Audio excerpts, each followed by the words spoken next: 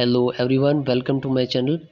Today in this video we are going to talk about wheel of fortune. This is a viral video which is uh, going trending on different kind of social media. So before going to video i'll request please make sure to subscribe my channel and press bell button.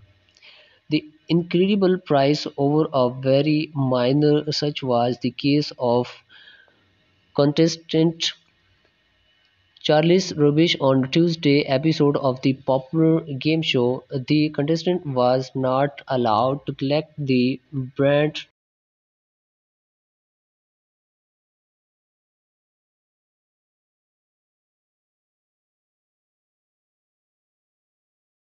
her answer while, while correctly solved the puzzle.